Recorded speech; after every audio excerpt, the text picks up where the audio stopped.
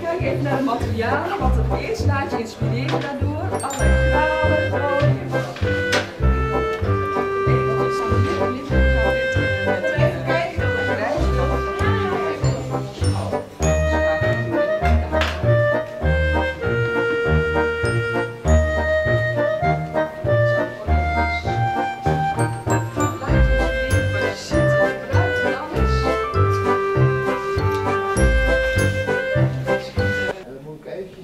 met de toeters. En als we dat gedaan hebben, dan gaan we eh, het schemaatje proberen te spelen.